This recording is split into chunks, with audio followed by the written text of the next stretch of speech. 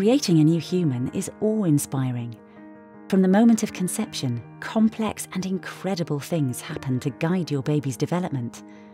From the first cell division to the growth of brains, hearts, eyes, arms, and legs, your body shapes this new person. Genes passed on from the mother and father provide instructions for the baby's development.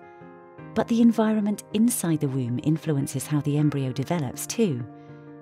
So, what happens during pregnancy, what a woman eats, stress, illness, treatments, and the environment can influence the health of the baby, and it can also affect the growth and long term health of the child. Likewise, a baby's experience in the womb, during and after birth, can contribute to its development later in life. But there's still a lot we don't know. Understanding how events in pregnancy and birth can affect health is important and also informs the medical care doctors give to pregnant women to optimise the health of mother and baby.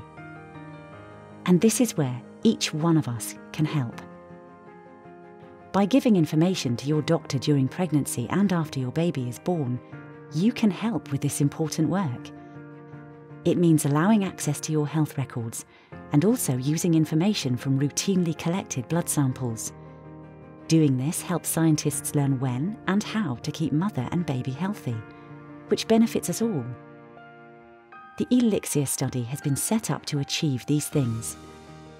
Firstly, before we can answer such important questions, the Elixir team needs to collect and store blood samples from all mothers they collect this at the first antenatal appointment, where an extra blood sample will be taken and saved to help answer questions about the mother's health.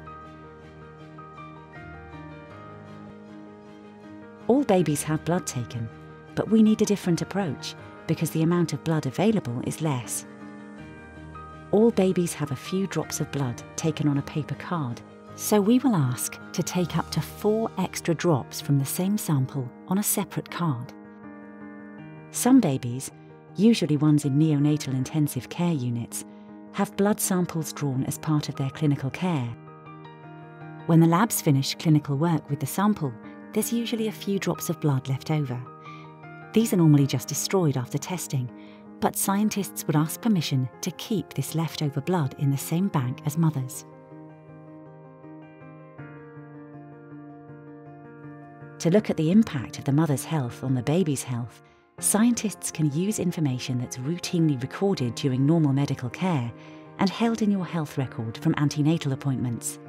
Studying this data helps answer lots of questions, such as how can we stop the baby being affected if the mother gets diabetes during pregnancy? How does being born too small or too soon affect the health of the baby? This is why researchers would like mothers to agree to having extra blood taken during routine sampling.